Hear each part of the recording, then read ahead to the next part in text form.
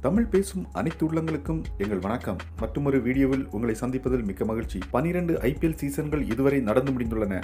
Royal challengers Bangalore kings eleven Punjab மற்றும் Delhi Capitals ஆகிய மூன்று அணிகளும் இதுவரை ஒருமுறை கூட கோப்பையை வென்றதில்லை. டெல்லி கேபிட்டல்ஸ் அணி முதன்முறையாக கோப்பையை வெல்லும் தீவிரத்தில் உள்ளது. தலைமை பயிற்சியாளராக ரிக்கி பாண்டிங் என்ற ஜாம்பவான் இருப்பது போதாதென்று கடந்த சீசனில் கங்குலியை ஆலோசகராக நியமித்தது. அதற்கு நல்ல பலனும் கிடைத்தது. ஸ்ரேயஸ் ஐயர் தலைமையிலான இளம் டெல்லி கேபிட்டல்ஸ் அணி பிளே ஆஃப் சுற்றிற்கு தகுதி பெற்றது. எலிமினேட்டர் சுற்றிலும் வெற்றி பெற்று இரண்டாவது தகுதிச் சுற்று போட்டியில் சென்னை சூப்பர் கிங்ஸ் அணியிடம் தோற்று வெளியேறியது.